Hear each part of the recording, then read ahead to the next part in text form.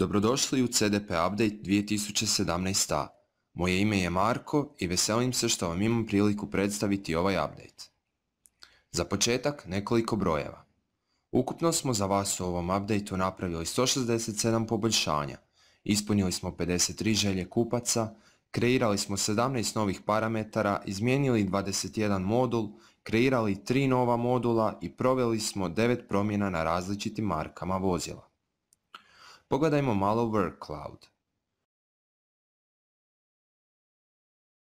Posebno me veseli da su među headlinima CDP općenito, CDP Hrvatska, prodaja vozila, statistike.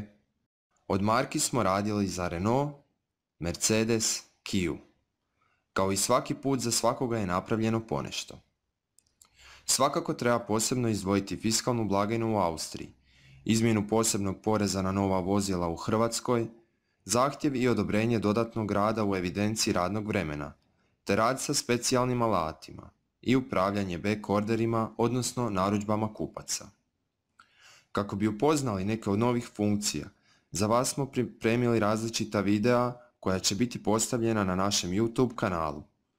Želim vam puno zadovoljstva s novim CDP updateom i mnogo poslovnih uspjeha.